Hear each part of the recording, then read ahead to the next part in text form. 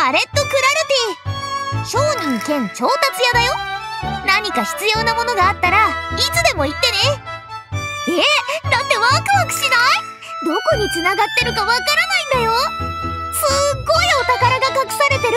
秘密の空間って可能性もあるし。もちろん。どこまでだってお供しちゃうよ。